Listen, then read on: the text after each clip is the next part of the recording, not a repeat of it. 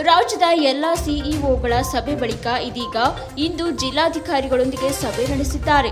ವಿಧಾನಸೌಧದಲ್ಲಿ video conference ಮೂಲಕ ಸಭೆ ನಡೆಸಿದ ಬೊಮ್ಮಾಯಿ, ಜಿಲ್ಲಾಧಿಕಾರಿಗಳನ್ನ ತರಾಟೆಗೆ ತೆಗೆದುಕೊಂಡು ಸರ್ಕಾರದ ಯೋಜನೆಗಳ ಸಮರ್ಪಕ ಅನುಷ್ಠಾನ ಜಿಲ್ಲೆಗಳ ಅಭಿವೃದ್ಧಿಗೆ ಪ್ರಮುಖ ಆದ್ಯತೆ ನೀಡಬೇಕಾಗಿರುವುದು ಜಿಲ್ಲಾಧಿಕಾರಿಗಳೇ ಹೊರತು ಕೆಳಮಟ್ಟದ ಅಧಿಕಾರಿಗಳಲ್ಲ.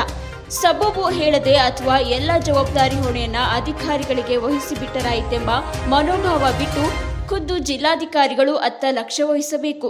ಎಲ್ಲದರ ವರದಿ ಪಡೆಯಬೇಕು ಎಂದು ತಾಕೀತು ಮಾಡಿದ್ದಾರೆ.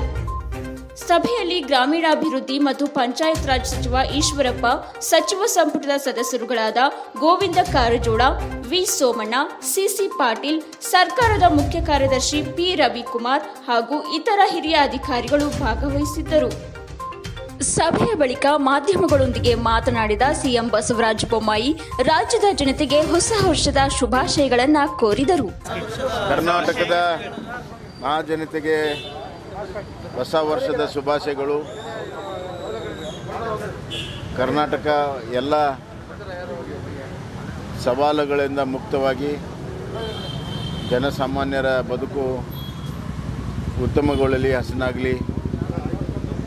ಹೊಸ ವರ್ಷ ಎಲ್ಲರಿಗೂ ಹರ್ಷ ತರಲಿ ಅಂತ ಹೇಳಿ ನಾನು ಪ್ರಾರ್ಥನೆಯನ್ನು ಮಾಡ್ತೀನಿ.